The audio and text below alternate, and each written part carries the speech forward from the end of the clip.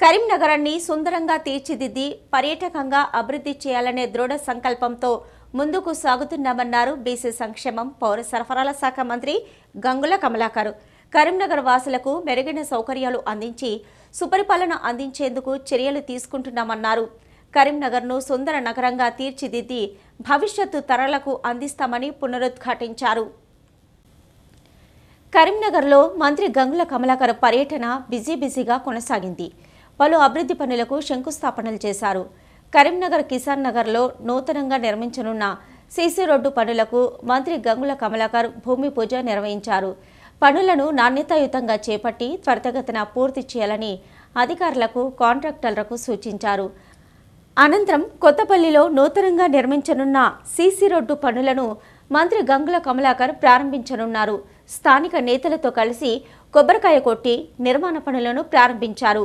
కొత్తపల్లిలో జరుగుతున్న అభివృద్ధి పనుల గురించి ఆరా తీసి త్వరితగతిన పూర్తి చేయాలని సూచించారు. ఎలాంటి సహాయ సహకారాలు అందించేందుకైనా తాను సిద్ధంగా ఉన్నానని హామీ ఇచ్చారు. కరీంనగర్లో గత అరవై ఏడు నుంచి డెబ్బై సంవత్సరాలుగా కరీంనగర్ను గత ప్రభుత్వాలు పట్టించుకున్న పాపన పోలేదని దీంతో కరీంనగర్లోని రోడ్లు అభివృద్ధికి ఆమెడ దూరంలో నిలిచాయన్నారు.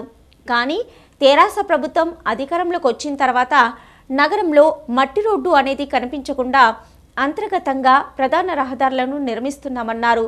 నగరంలో ఎక్కడ చూసినా అభివృద్ధి పనులు కనిపిస్తున్నాయని వాటిని త్వరితగతిన పూర్తి చేసేందుకు చర్యలు తీసుకుంటున్నామన్నారు.